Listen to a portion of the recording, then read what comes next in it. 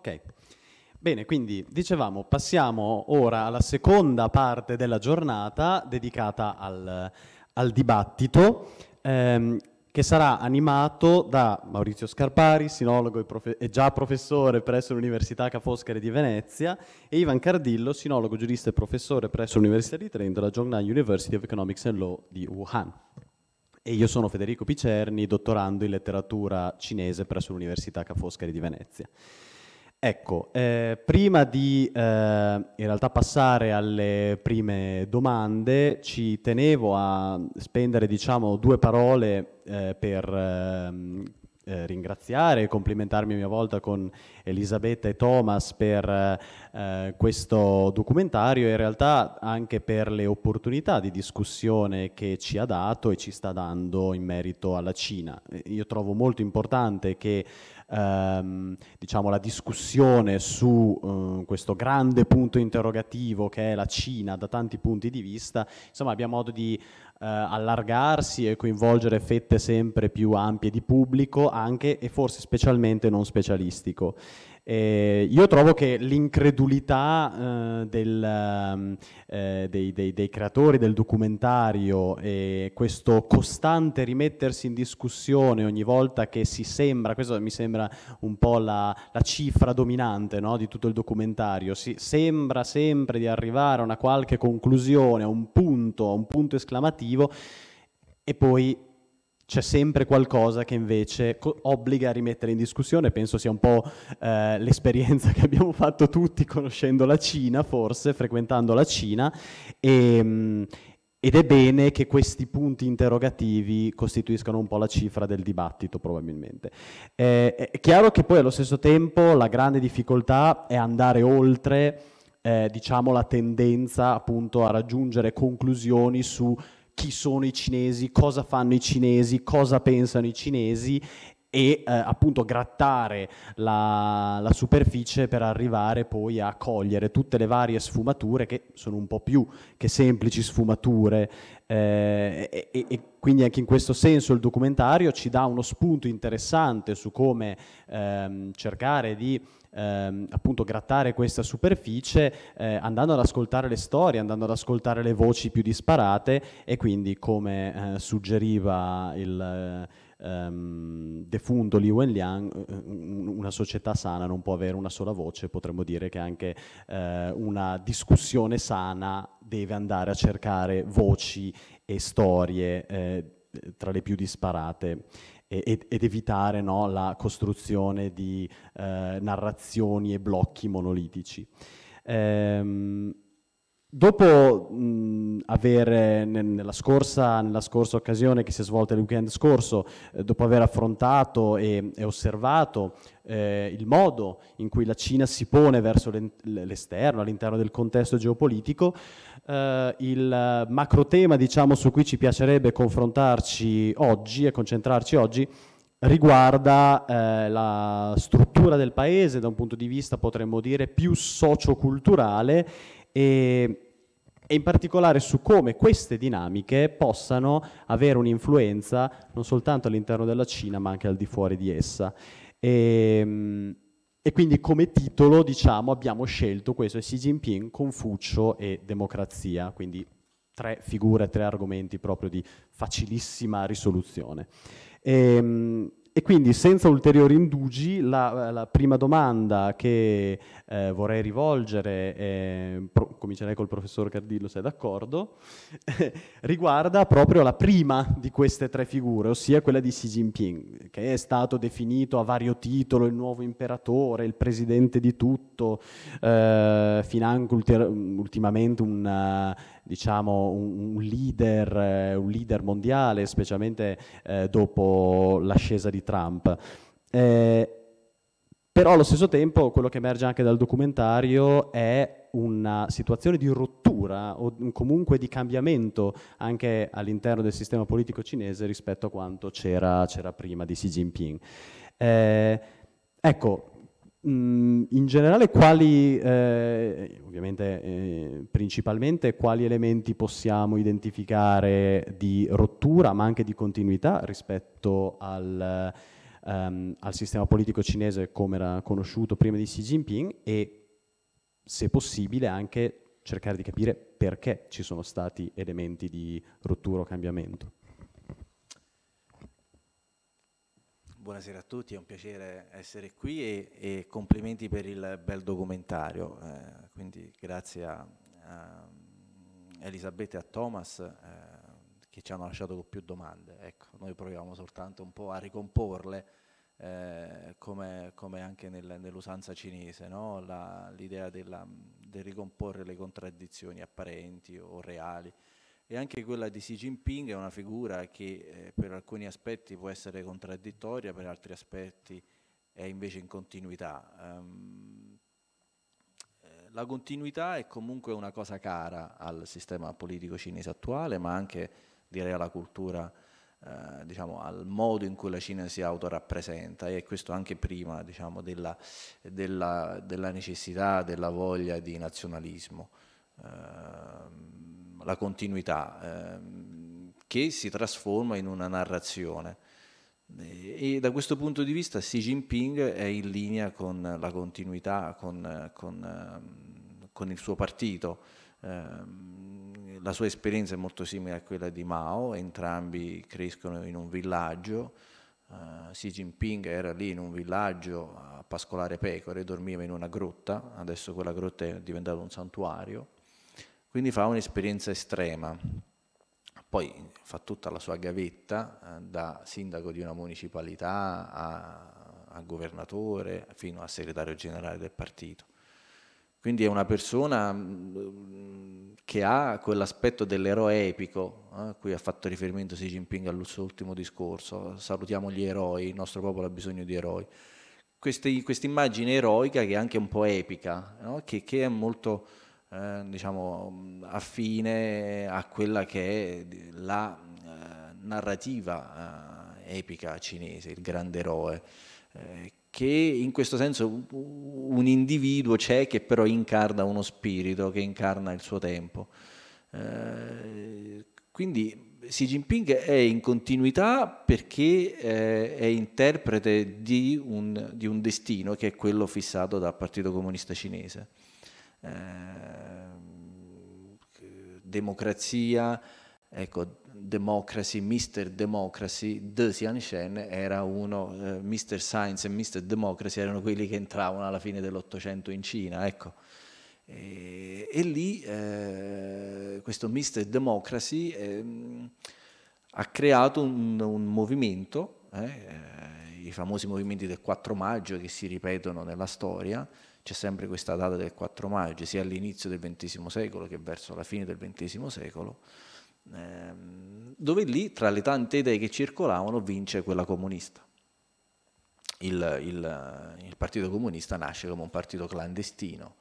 eh, che si riunisce a Shanghai, subito dopo la prima riunione deve scappare perché è inseguito, e, e, nasce come una forza clandestina e poi si impone. E qui inizia il viaggio epico, eroico del Partito Comunista che continua ancora oggi e che continuerà. alla fine dei discorsi è sempre la stessa. Eh, con coraggio continuiamo la nostra battaglia, Fendò, la nostra sfida, la nostra guerra. E quindi in questo senso Xi Jinping è in continuità. Eh, eh, la storia è una fonte di legittimazione, quindi deve per forza essere in continuità, ha comunque questa necessità. Gli elementi di rottura derivano dalla sua eh, interpretazione in, in, qualità di leader eh, massimo, dalla sua interpretazione dei tempi e questa è espressione eh, della, de, della sua condotta sintetizzata nel cosiddetto pensiero di nuova epoca di Xi Jinping dove lui eh, recupera eh, degli elementi, eh, recupera degli elementi, forse la storia cinese fa un tornante, ritorna appunto eh, nel bel libro di, di, di, Maurizio Scarpare, ritorna a Confucio in un certo senso, c'è un tornante della storia, io più che di rottura parlerei di un tornante. Eh, e lì eh, ritorna, eh, ritornano degli elementi. Eh, nel video si parlava di umiliazione, eh, adesso Xi Jinping parla dell'autostima culturale, le quattro autostime, eh, l'autostima appunto nel percorso, nel sistema, nel socialismo e l'autostima culturale, che è l'opposto di umiliazione. Di nuovo si era parlato nel video Zhongguo, eh, Cina, regno di mezzo, circondato da barbari, ad un certo punto questi barbari invadono e la Cina è un sistema barbaro, eh, perché ha, una, ha, un sistema giuridico vecchio e quindi eh, sono necessari dei tribunali speciali gestiti da, ehm, da giudici stranieri. E questo crea un grave problema ehm, sulla, di autostima.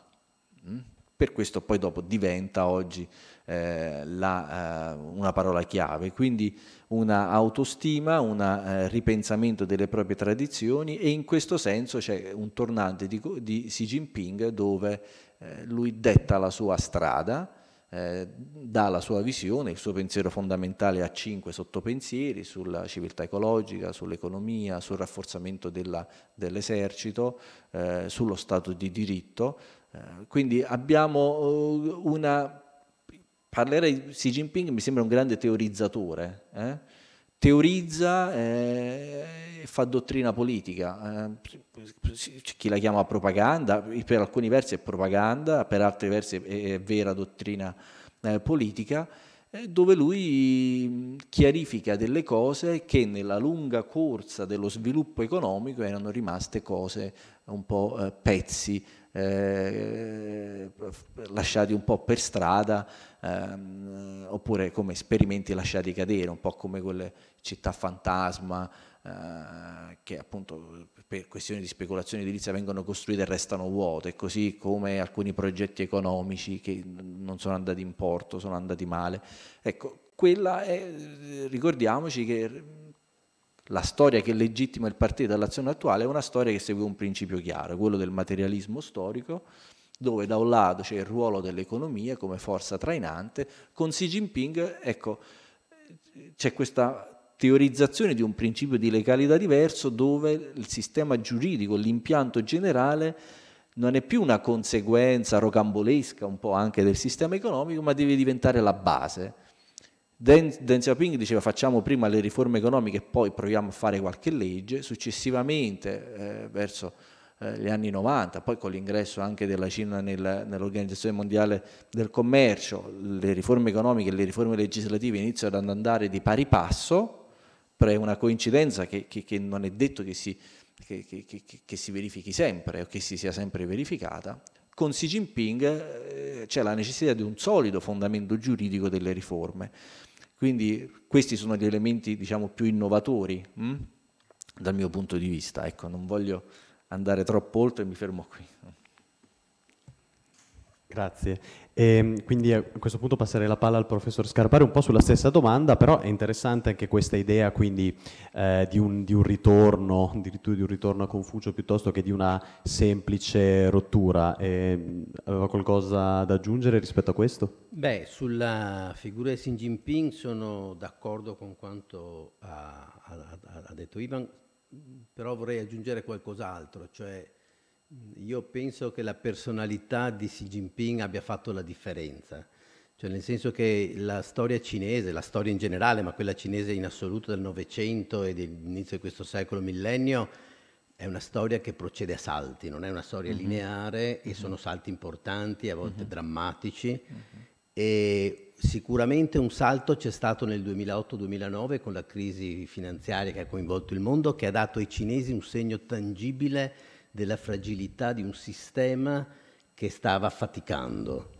E loro hanno colto questa occasione. Hu Jintao non è riuscito, all'epoca era lui il leader, non è riuscito a cogliere pienamente questa cosa proprio per un problema di personalità, era una personalità debole da questo punto di vista. Uh-huh. Eh, quando nel 2012-2013 Xi Jinping è salito al potere, invece eh, all'inizio sembrava fosse una figura quasi di mediazione, in realtà in modo estremamente graduale ha dimostrato una lucidità di, di, di, di visione, una determinazione nell'applicare questa visione e un metodo eh, anche teorico, come, come, detto, come, hai detto tu, ma anche una capacità organizzativa che Hu Jintao non poteva avere. E quindi eh, questo salto, secondo me, ha determinato una eh, avanzata, se posso dire, spettacolare rispetto alla fase precedente, ma anche estremamente autoritaria da, da, da parte del nuovo governo che solo una figura forte poteva, poteva condurre. Io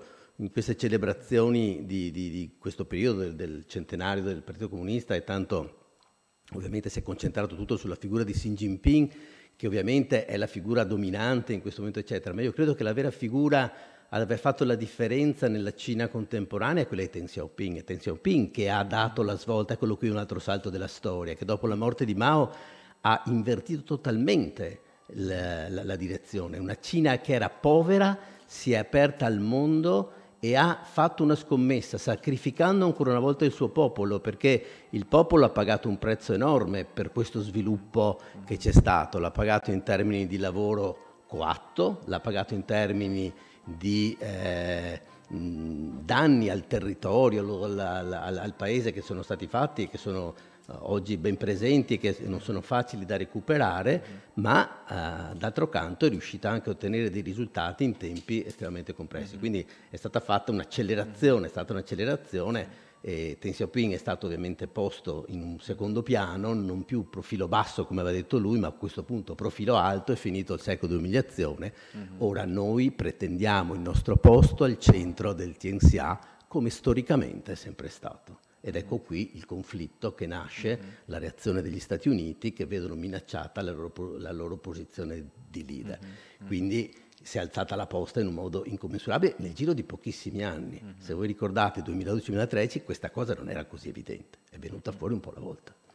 Questo è come sulla figura di Xi Jinping questo avrei da dire. Sì, ecco, e su questo è interessante perché la, diciamo, la, lo, il nuovo slancio della Cina nel quadro del TNCA eh, diciamo, eh, si dota anche, ehm, come in realtà già accennava anche il, il professor Cardillo, di ehm, strumenti, strategie che possiamo definire ideologiche, anche culturali, completamente diverse rispetto a prima, per esempio eh, già solo il concetto di ringiovanimento nazionale e così via. Ecco, eh, quindi collegandoci al secondo personaggio della nostra triade fra Xi Jinping, Confucio e il, appunto, il signor democrazia, ehm, vorrei chiedere al professor Scarpari appunto qual è eh, il ruolo ehm, più che di Confucio soltanto, comunque in generale, della cultura tradizionale eh, all'interno di questa eh, riformulazione strategica, potremmo dire, sotto Xi Jinping, e, e come si coniuga invece con un'idea di ringiovanimento nazionale. Allora, il, mm, il maoismo nei primi decenni della Repubblica Popolare Cinese aveva fatto una scommessa azzardata che si è rivelata sbagliata cioè aveva pensato che si sarebbe potuto cancellare il proprio passato e costruire una Cina, l'ho detto anche nel documentario, una Cina da delle macerie, una nuova Cina. Eh, il passato non si può cancellare, noi siamo il frutto di una tradizione millenaria, anche noi ovviamente, e quindi la nostra storia ci accompagnerà sempre e delineerà sempre le linee del futuro. Questo fatto eh, è apparso chiaro con la fine del maoismo, della rivoluzione culturale, è stato una, un, un, momento storico così che è stato però anche drammatico dal punto di vista economico, perché al di là dell'ideologia che è stato l'elemento portante di mh, mm, almeno un paio di generazioni, eh, caduto questo si è dovuto trovare un sostituto di questa ideologia, perché man mano che il paese usciva da quella situazione ricostruendo attraverso una corsa economica la fabbrica del mondo, vi ricordate, quindi eh, si è data un'accelerazione enorme, si è aperta a capitali stranieri, insomma i, tutto quello che Mao si è rivoltato nella tomba, perché sicuramente anche, e qui si è posto un problema essenziale, cioè a quali valori affidarsi? I valori dell'Occidente non sembravano adatti, anzi eh, Xi Jinping in particolare li ha definiti estremamente pericolosi, ma prima di lui già altri avevano teorizzato nel decennio precedente che eh, affidarsi al, al, ai valori dell'Occidente eh, e alle dottrine anche politiche dell'Occidente, uh-huh. fatto abbastanza strano per chi aveva preso il marxismo-leninismo come punto di riferimento, comunque al di là di questo, insomma certi valori non, non, erano, non, non valevano, erano troppo pericolosi per la Cina, in realtà erano pericolosi perché stillavano degli elementi di contraddizione che non sarebbero riusciti a, uh, che, che, il partito non, non, non, sarebbe stato capace di gestire mantenendo la stabilità politica, che, eh, sociale che il Paese aveva bisogno per fare le riforme e per fare questo salto economico che in qualche modo garantiva il contratto tra una leadership che voleva rinnovarsi e, e, e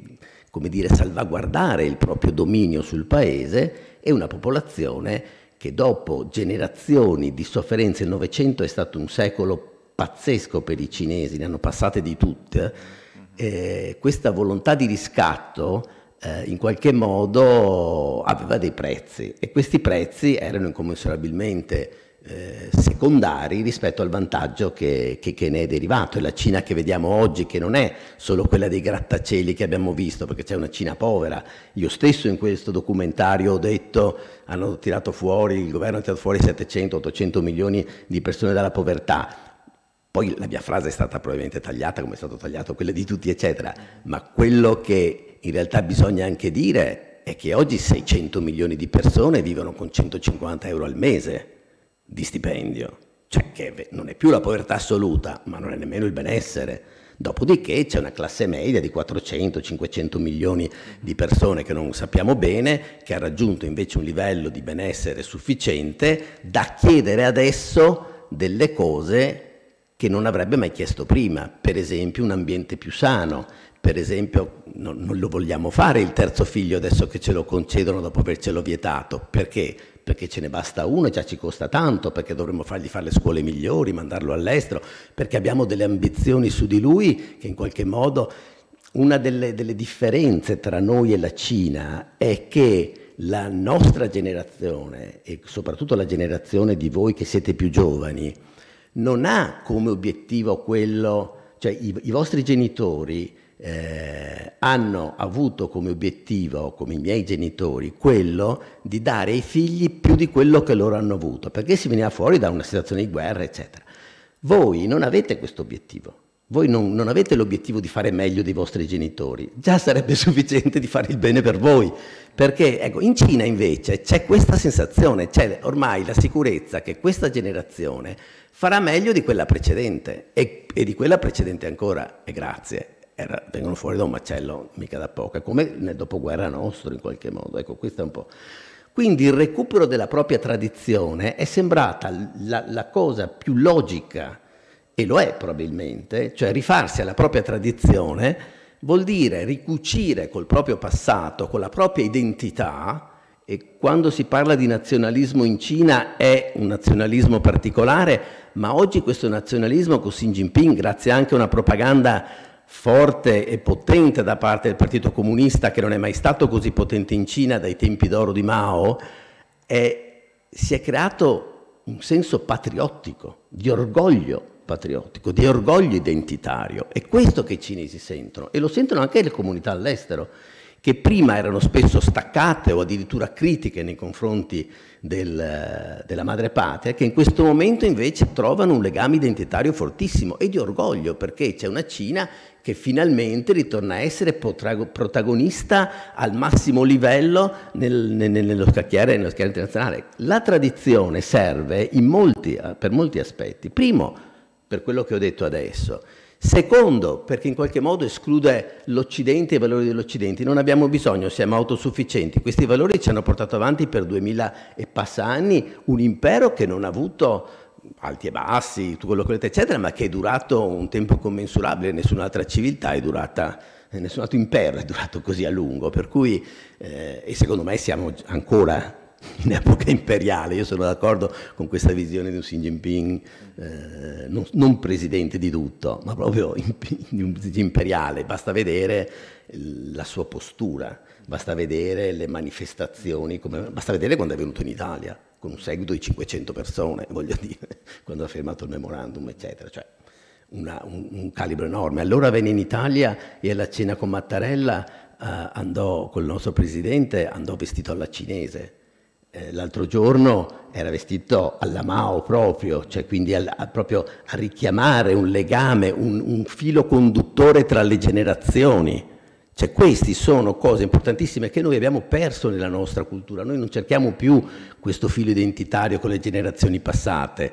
Anzi, probabilmente i nostri vecchi, quelli che hanno fatto la, guerra, eccetera, si rivolterebbero nel vedere come vengono gestite oggi certe cose in questo paese, eccetera. Per cui, insomma, la, la, il recupero della tradizione è stato importante per questo ed è importante soprattutto per il controllo sociale, perché il confucianesimo, come ho detto anche nel documentario, eh, ha questo duplice aspetto, è portatore di valori, ma è anche portatore di un sistema gerarchico rigido che richiede, che ha come fondamento l'obbedienza verso l'alto. Quindi quale sistema migliore può garantire in questo momento la stabilità sociale? Sì, e se posso anche eh, proprio intervenire con un brevissimo commento, mi sembra anche che sia, molto, eh, sia stata molto efficace questa operazione di equazione eh, governo cinese, Cina in quanto nazione, Cina in quanto tradizione culturale, eh, al punto tale che eh, secondo me è un elemento molto interessante anche degli interventi delle persone cinesi intervistate all'interno del documentario, molto spesso eh, criticare uno, e mm, generalmente si tratta di eh, critica al governo cinese, viene un po' interpretato come una critica a tutto il resto. Senza un po'.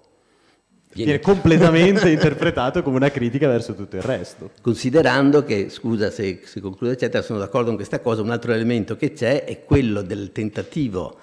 secondo me perfettamente riuscito in questo momento, di identificare il partito con il popolo. Il partito è ritornato ad essere veramente l'emanazione del popolo, in questo senso ha riacquisito il suo ruolo di, di leader eh, perché è l'emanazione del popolo che, eh, come, dire, come il cielo nel, per i confuciani era eh, buono di default, così il partito fa il bene del popolo di default e quindi non è criticabile. Se tu lo critichi vuol dire che sei contro il popolo ed è questo il, il, successo di aver fatto passare questo messaggio è quello che in qualche modo garantisce il legame tra il partito e il popolo. Sì, grazie. Ehm, ecco, Professor Cardillo, anche collegandoci in realtà a quest'ultima, eh, in realtà non a quest'ultima, anche quest'ultima volendo, però eh, anche alla suggestione del professor Scarpari riguardo il ruolo ehm, dell'obbedienza gerarchica, potremmo dire, ehm, che è contestuale a questo ritorno a Confucio nella Cina di oggi. Ehm, sì, prego. Il Settecento europeo, l'Ottocento europeo ha studiato, studiato ha, si, è, si, è, interessato molto della Cina. Eh, diciamo,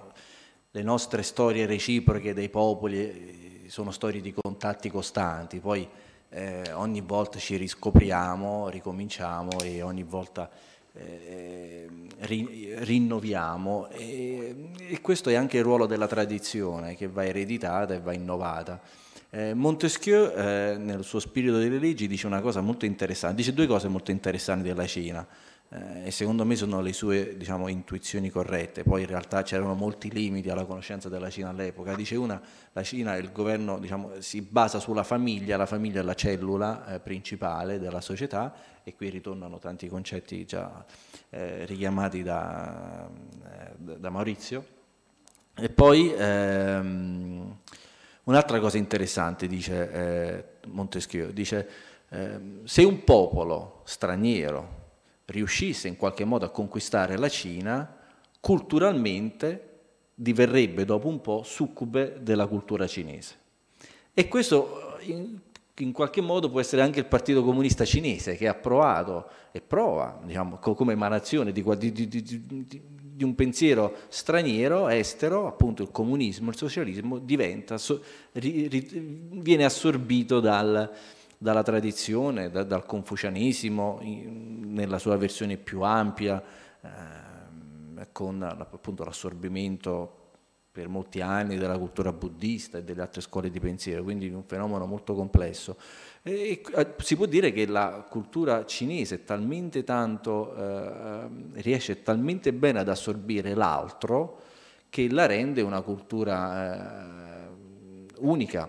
Eh, il confronto attuale, rinnovato con l'Occidente in questo nostro periodo della modernità, eh, è di nuovo la testimonianza di un laboratorio cinese eh, dove il passato, il presente, l'interno e l'esterno si incontrano, si scontrano, cercano una sintesi eh, e in qualche modo la trovano nella quotidianità, nella, nelle necessità, nelle, nelle necessità economiche, nelle necessità eh, politiche. Il partito è riuscito a fare qualcosa di interessante con Xi Jinping perché è riuscito a fissare i tre punti cardini, cioè la leadership del Partito Comunista che è indiscussa ed è diventata dal 2018 un principio della Costituzione, prima era uno Stato di fatto, adesso è diventato un principio della Costituzione. Ehm, questo nuovo principio di legalità, la costruzione di uno Stato di diritto alla cinese, o meglio perché la formulazione cinese eh, non è stato di diritto cinese con cinese aggettivo del sostantivo stato di diritto, ma è l'inverso, quindi è una Cina di stato di diritto, cioè stato di diritto è, è l'aggettivo.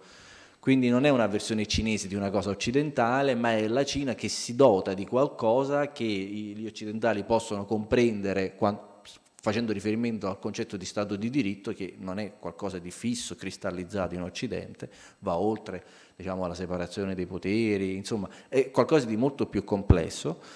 con eh, quello che diciamo all'inizio eh, che è fondamentale la, la, la capacità di rappresentare il popolo. Cioè se prima era il governo per il popolo, quello Wei Renmin, Wei Renmin Fu per il servizio del popolo, poi è diventato i Renmin Wei Chongqing con il popolo al centro, adesso è diventato Renmin Dang Jia Zuo cioè quindi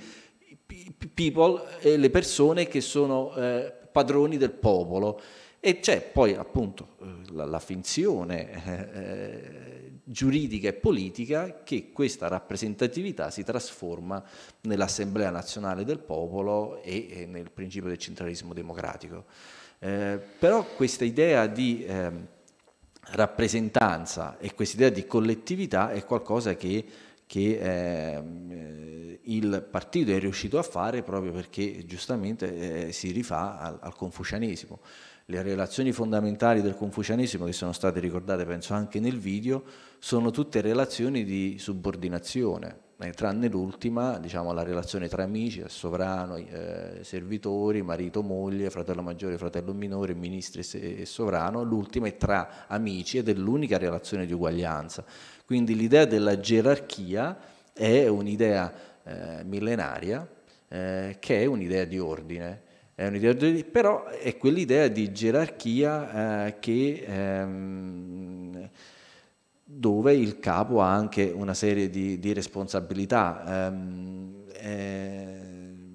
si è fatta la, il riferimento al treno, no? alla, alla, persona che conduce il treno, Mao molto, in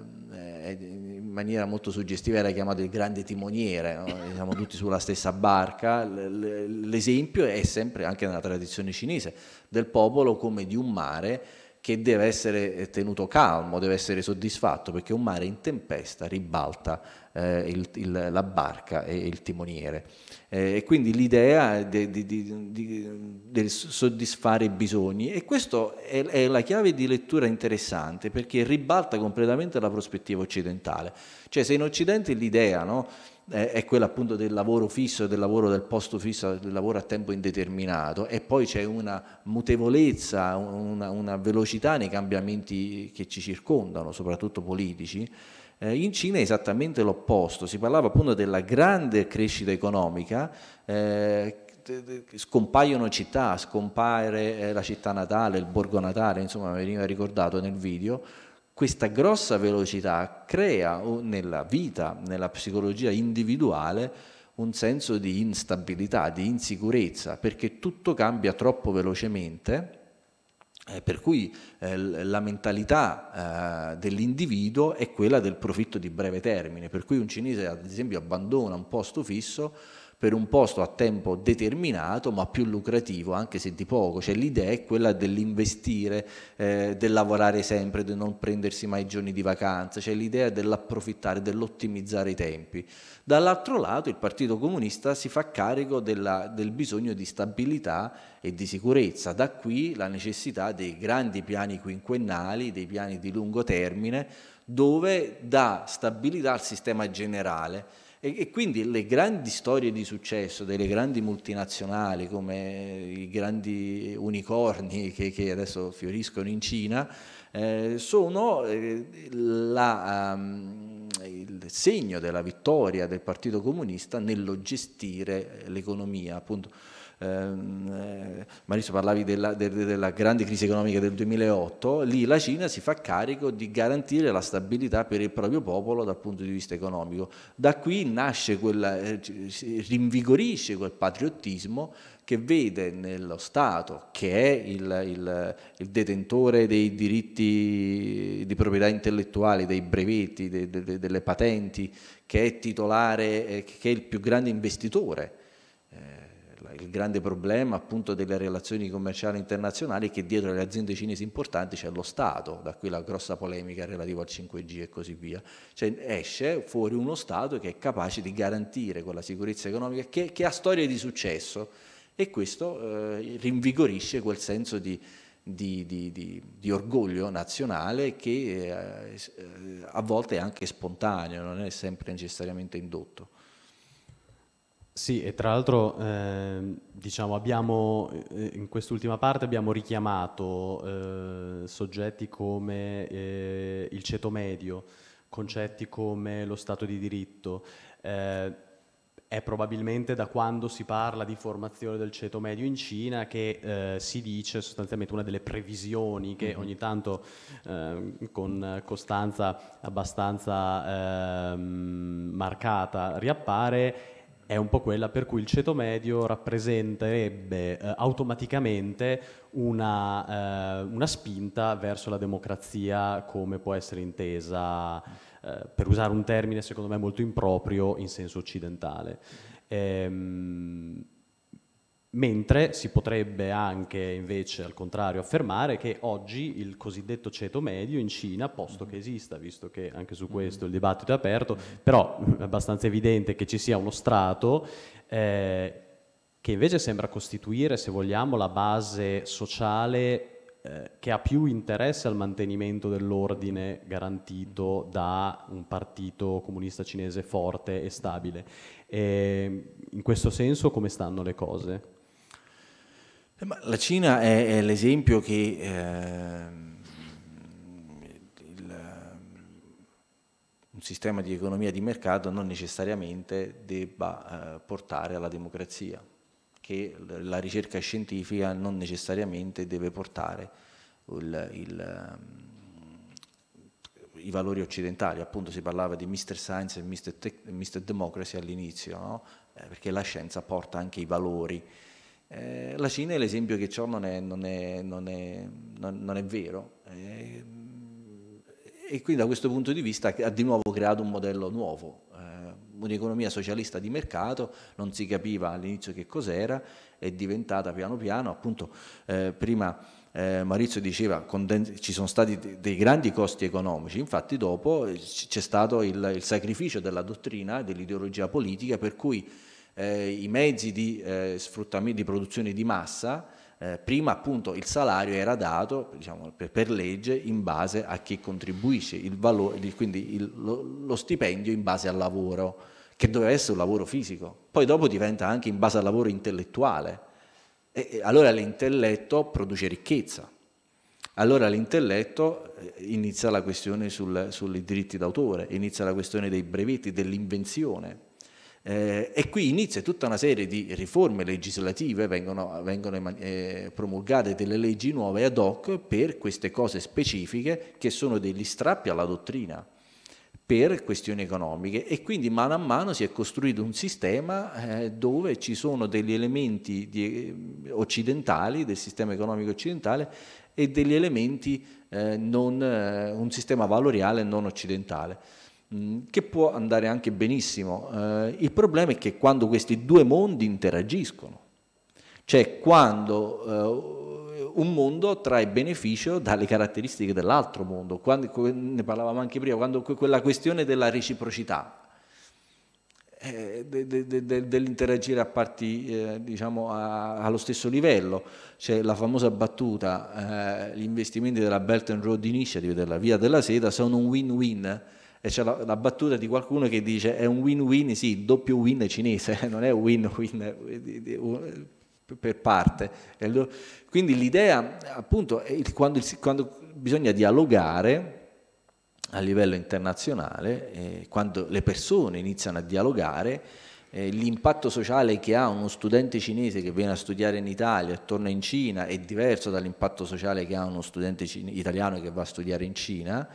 Eh, I programmi di studio e di scambio sono studiati in un certo modo, quindi quel, quella, quel, ceto medio che inizia a circolare, che, inizia, che gira il mondo, che si forma all'estero, insomma ricordiamo che la figlia di Xi Jinping studia ad Harvard, cioè, quindi diciamo, anche, eh, c'è questa fluidità, eh, c'è questa fluidità ehm, cui dobbiamo abituarci perché eh, le definizioni sono dei, dei confini anche, no? quando si definisce qualcosa la si confina anche in un posto e, e i cinesi sono fluidi, noi siamo diciamo, per cultura legati a determinati principi della logica, del pensiero, no? il principio di identità, il principio di non contraddizione, il principio dialettico, cioè se è bianco è bianco, se è nero non è nero, il bianco non può essere nero e così via. Invece la Cina ha dei principi di pensiero diversi, per cui c'è la, la, la coesistenza, la complementarietà degli opposti, in quel senso sono molto più a loro agio in definizioni poco marcate eh, che si traducono in atteggiamenti trasversali e non eh, di opposizione. E, e, quindi anche i movimenti di questo ceto medio, che comunque quando viaggia, quando studia all'estero, resta legato al mondo cinese. Il partito ha fatto un grande lavoro anche per, per ricollegarsi a tutti i cinesi che vivono all'estero, eh, c'è stato, penso due stati fa, il, il, la prima riunione mondiale, il primo convegno mondiale di tutti i ricercatori cinesi nel mondo. Eh, insomma, eh, la gestione delle risorse, ecco, la gestione delle risorse che è una gestione delle risorse lungimirante, eh, studiata, eh, su una serie di valori che eh, sono diversi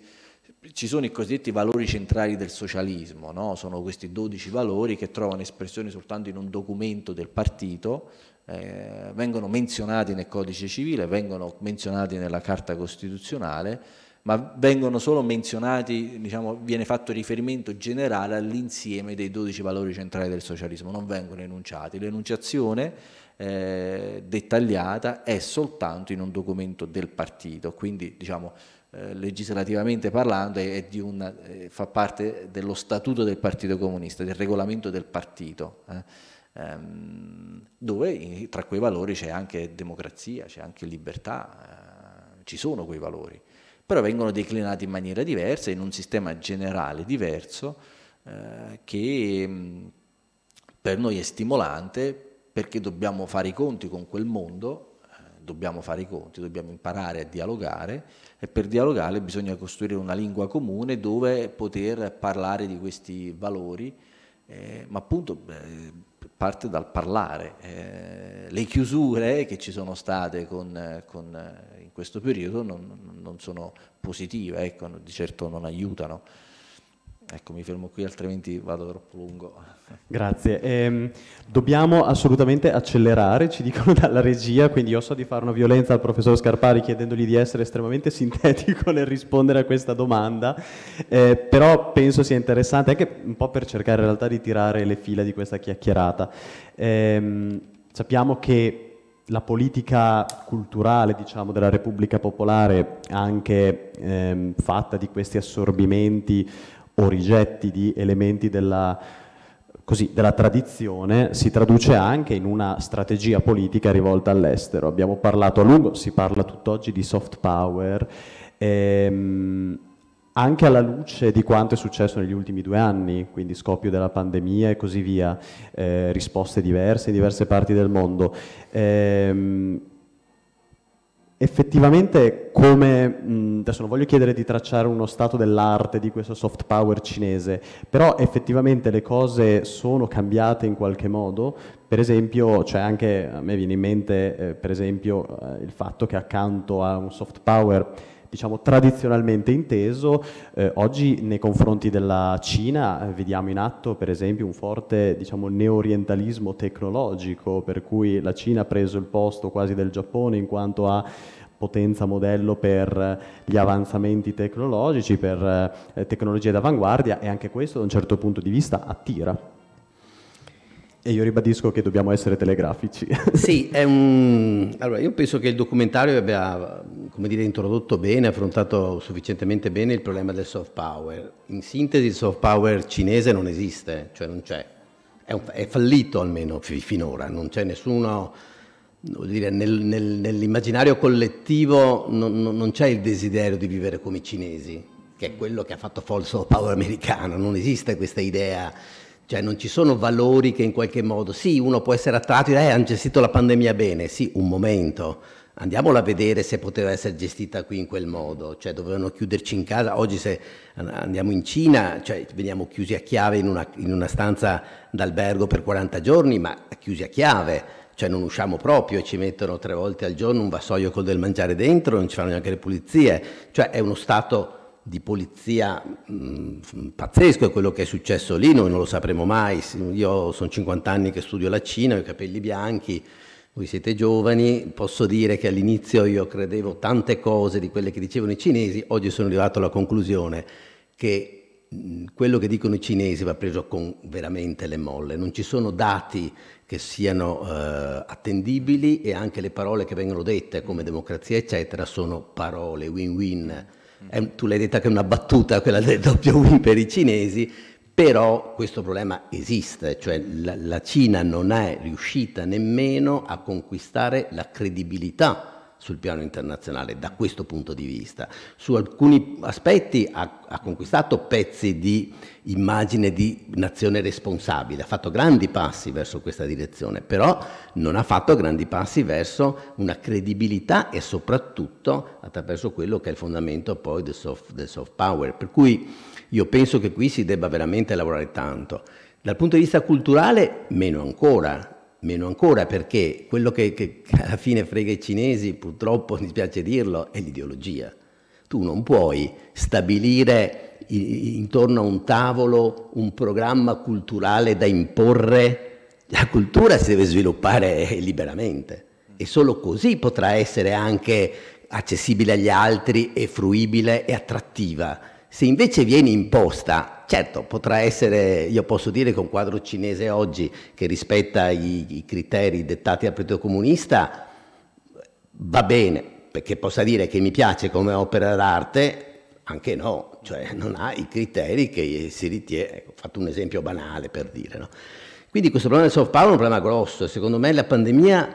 eh, apparentemente eh, è stata un'occasione che i cinesi hanno avuto e se la sono giocata male anche questa, perché se la, gioca- se la sono giocata in modo spudorato, cioè falsificando le carte ancora una volta. E quindi hanno ottenuto l'effetto contrario, tant'è che dopo la pandemia c'è una specie di, come dire, eh, è peggio di prima, cioè la loro credibilità ha subito un danno, non un beneficio. Quindi quella che è stata la politica delle mascherine, la diplomazia delle mascherine, gli aiuti, eccetera. Certo, gli aiuti ci hanno mandato un, un carico di mascherine, cose, sì, ma tutte le altre dopo le abbiamo pagate. Le abbiamo pagate e metà erano taroccate e ce le hanno fatte passare come invece donazioni. Non è così. Il, il, vaccino cinese che è stato distribuito in 90 paesi come eh, nella politica, anche questa, di una politica di, eh, di carattere proprio mm, geopolitico, proprio se posso dire così, no? funzionale a creare un'immagine positiva. No? L'Occidente è egoista cura prima se stesso, prima di dargli agli altri, noi invece doniamo agli altri prima ancora di curarci noi stessi. Però non ha nessuna copertura, una copertura bassissima, tant'è che adesso la quarta ondata di pandemia sta esplodendo ovunque, soprattutto in quei paesi che si sono affidati ai vaccini non certificati secondo gli standard internazionali dei cinesi. Per cui voglio dire, alla fine si sono ritor- ritorte contro tutta una serie di operazioni che sembravano invece volte a migliorare l'immagine cinese. In conclusione, così faccio contento il nostro eh, moderatore, il soft power non si conquista con l'ideologia, non si conquista con la coercizione, si conquista proponendo modelli ehm, attrattivi di qualsiasi tipo, culturali, che possono andare dalle canzoni come hanno fatto i coreani, per dire, alla letteratura, a un stile di vita che possa in qualche modo piacere, essere un modello da cui noi possiamo ricavare eh, qualcosa. Ecco, secondo me qui i cinesi hanno molto da fare e finché non risolveranno questo problema non, non sarà l'economia a risolvere il progetto egemonico cinese, c'è un progetto egemonico cinese evidente, purtroppo lascerà il tempo che trova perché alla fine anche questo eh, sarà, eh, cioè alla fine, ed è quello che sta succedendo con la via della seta, mostrerà tutti i suoi punti deboli e mostrerà che non c'è un vero interesse win-win, ma c'è un interesse eh, duplice da parte della Cina, una di conquistare dei, del, delle, del, delle quote diciamo, di, di, di, sovranità o, o di beni all'estero e secondo di esportare una sovrapproduzione che fa sì che il PIL cinese sia, sia elevato. Perché? Perché dove va a costruire autostrade, eh, porti o tutto quello che fa, lo fa portandosi da casa ogni cosa, non fa crescere le economie eh, locali. E questo non è vero solo in Africa. Prendiamo il caso del Montenegro. Il Montenegro è strozzato da un debito contratto con i cinesi per costruire un'autostrada che a loro non servirà mai perché è megalattica, bellissima, eccetera, costosissima, ma che servirebbe ai cinesi qualora avessero il controllo del porto del Montenegro che li porta direttamente all'interno dei Balcani se non pagano quel debito sono costretti a perdere un pezzo di sovranità nazionale, tant'è che eh, hanno chiesto i montenegrini all'Europa di farsi carico di quel debito, se no avremmo la Cina che si prende un pezzo d'Europa, un altro pezzo d'Europa all'interno una all'interno della Nato e quindi è una, situazione veramente preoccupante, altro che win-win. Il fatto che adesso in Ungheria, a Budapest, si voglia costruire una eh, filiale dell'Università Fudan di Shanghai, che è una delle università più importanti,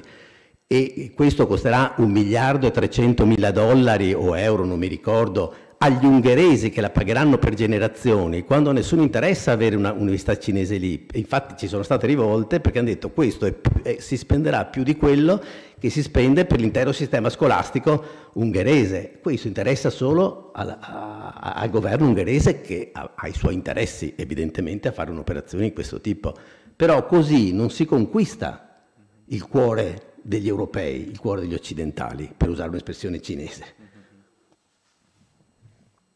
Che anche il professor Cardino se vuole ancora più telegraficamente rispondere a, questa, a questo quesito, poi direi che possiamo concludere. Sì, sono d'accordo, con, con, quando ho detto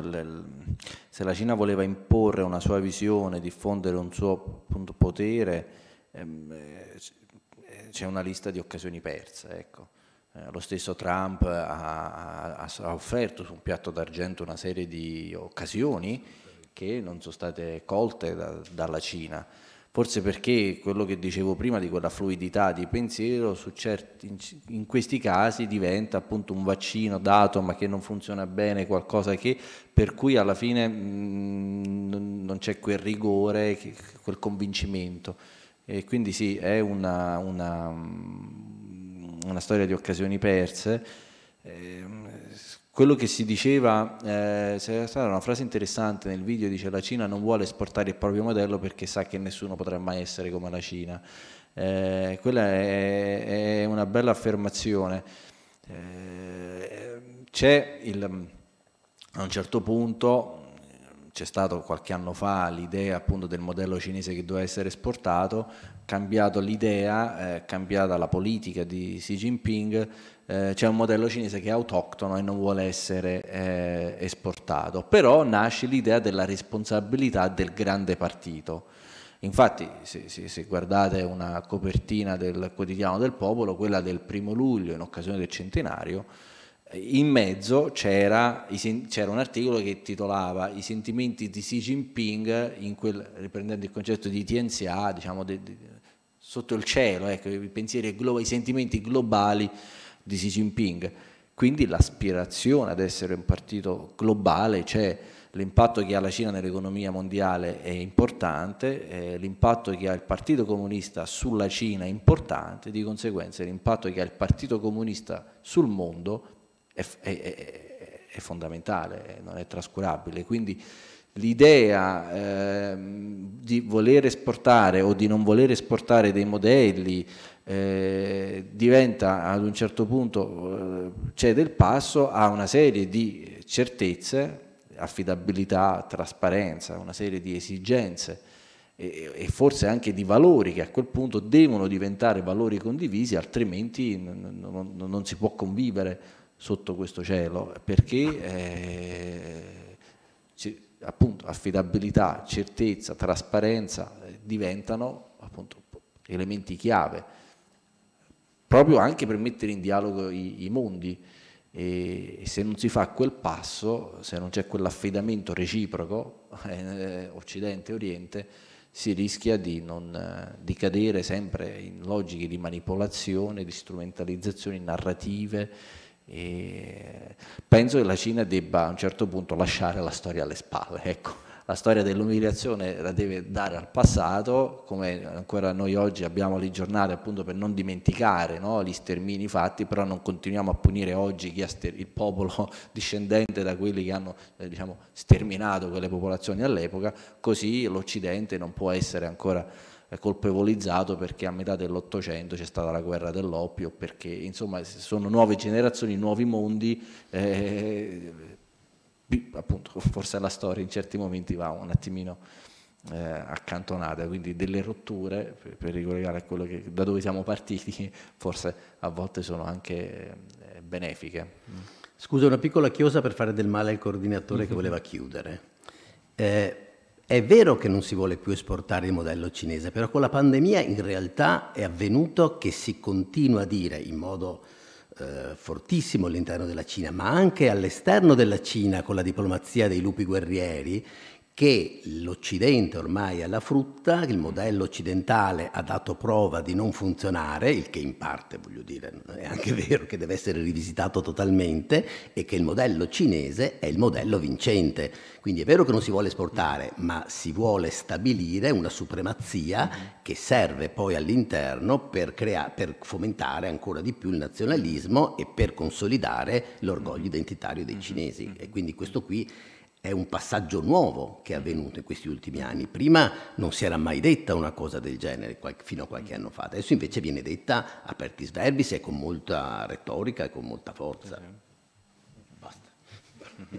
No, in realtà mi sembrava insomma, necessario uno spunto, uno spunto, molto interessante anche da, si spera, sviluppare in futuro, nel senso che ehm, naturalmente io ringrazio moltissimo ehm, Ivan Cardillo e Maurizio Scarpari per ehm, avere diciamo, animato questo dibattito con spunti estremamente interessanti ehm, e ringrazio anche ovviamente chi ha reso possibile eh, che ci trovassimo qui a parlare, a parlare di Cina e a, sulla base del documentario che abbiamo visto poco fa e, e l'auspicio appunto è veramente che ci sia la possibilità di sviluppare questi spunti in altre occasioni e che quindi eh, giornate come questa possano ehm, ripetersi perché eh, veramente rispetto anche a all'ipersemplificazione mediatica di questioni al centro delle nostre vite eh, anche quotidiane, eh, cioè veramente si avverte l'esigenza di una, ehm, di una discussione più ampia e più profonda di questo tipo. Quindi grazie anche a chi ha partecipato.